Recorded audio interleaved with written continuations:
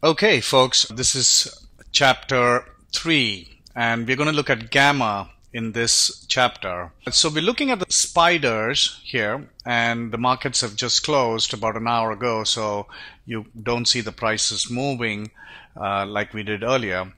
Uh, but what I've done is I've pulled up the spiders, and we're looking at the May 2012 options, which has about 60 days to expiry and also you can see that the spiders have uh, closed at $140.85.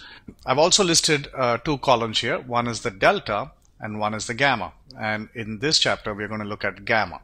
The best way to understand gamma, gamma is a little tricky to understand because it's the second derivative of price, uh, also defined as the rate of change of delta.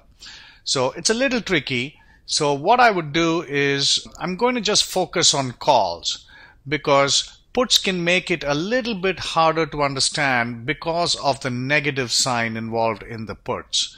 What we'll do is we'll just focus on the calls and understand the concept of gamma. The concept of gamma works the same whether it is calls or puts. So once you've understood the concept here, you can certainly translate that knowledge onto the put side as well. So let's focus on the call side and try to understand gamma. Gamma is defined as the rate of change of delta. So what we mean by that?